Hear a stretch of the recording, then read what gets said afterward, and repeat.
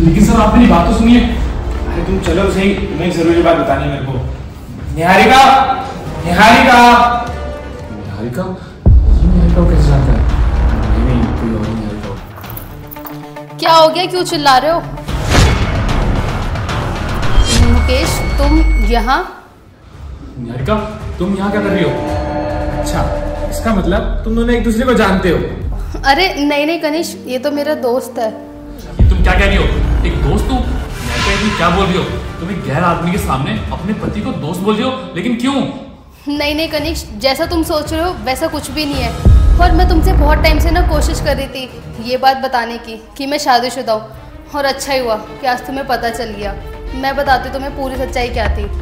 इससे मेरी शादी हुई थी ज़बरदस्ती। मेरे घर वालों ने इसे ज़बरदस्ती शादी करवाई थी, वरना मैं इसको कोई प्यार व्यार नहीं करती।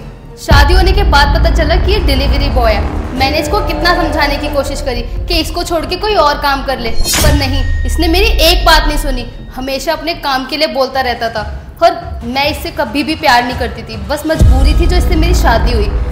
मैं सिर्फ़ तुमसे प्यार करती हूँ। और मैं तुम्हारे साथ रहना चाहती हूँ। इसके साथ नहीं। अरे, बंद करो तुम अपनी बकवास। ये एक डिलीवरी बॉय है, इसलिए तुम इसके साथ नहीं रहना चाहती। और मेरे पास पैसा वैसा सब कुछ है तो इसलिए तुम मेरे साथ रह रही हो। अगर मानो कल को मेरे पास ये पैसा वगैरह कुछ नहीं रहा तो तुम तो मुझे भी छोड़ दोगी। किसी ऐसे के लिए जिसके पास मेरे से ज़्यादा पैसा होगा।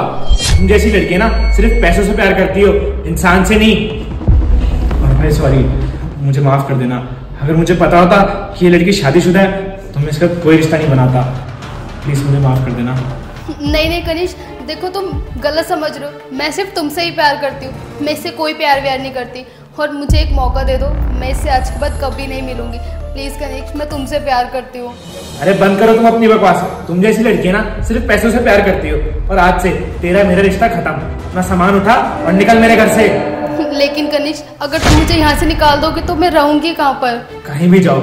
मुझे उससे मतलब नहीं है। और तुम्हारा तो घर है ना वहाँ जाओ। मेरे घर से निकलो।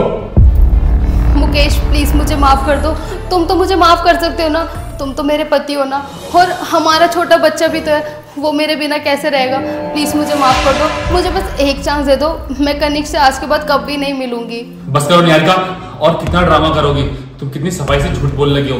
तुम मुझसे क्या कहती थी? तुम अपने दोस्तों से मिलने जा रही हो। ये तुम्हारा दोस्त, और तुम ये काम कर रही हो। मैं सोच भी नहीं सकता था कि तुम मुझे इतना बड़ा धोखा दोगी।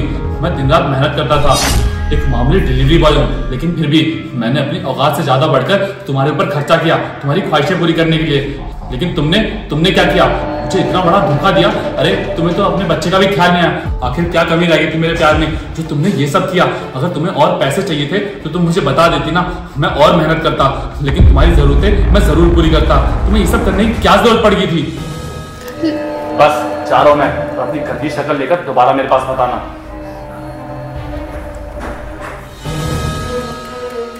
और तुम खड़ी खड़ी देख क्या रही हो? निकलो मेरे घर से।